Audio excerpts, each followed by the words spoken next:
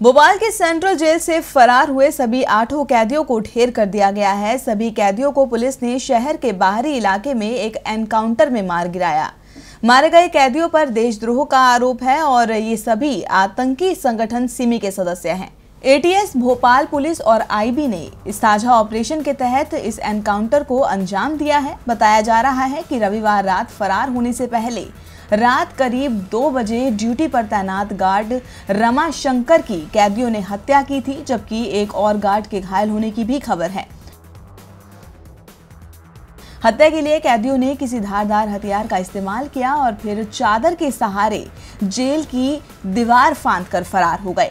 बताया जा रहा है कि कैदियों ने फरार होने के लिए दिवाली की रात ही इसलिए चुनी थी क्योंकि पटाखों के शोर में वे अपना काम कर सके।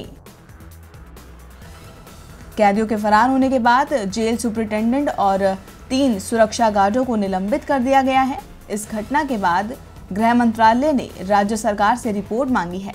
साथ ही शिवराज सिंह चौहान ने आपात बैठक भी बुलाई थी। इस घटना को लापरवाही बताते हुए शिवराज सिंह चौहान ने इसे राजद्रोह के बराबर का अपराध बताया था।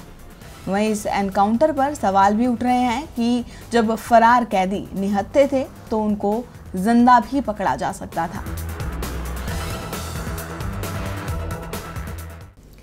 जेल से फरार हुए सभी कैदियों को ढेर कर दिया गया है, लेकिन अब इस एनकाउंटर पर सवाल खड़े हो गए हैं। विपक्ष सवाल खड़े कर रहा है। कांग्रेस नेता दिग्विजय सिंह ने पूछा है कि आतंकी जेल से भागे हैं या किसी योजना के तहत भगाए गए हैं। जाँच का विषय है। देखते रहिए टीवी लाइव